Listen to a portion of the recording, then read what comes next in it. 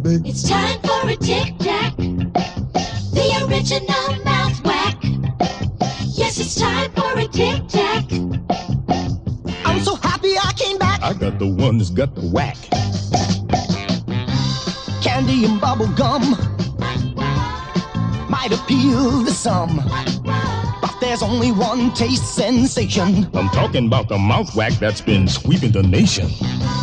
You know I drifted for a while, put the other mints on trial, but I'm finished with the substitutions. I'm going back to the Tic Tac Institution. Yes, it's time for a tic tac. The original mouth whack. Yes, it's time for a tic tac.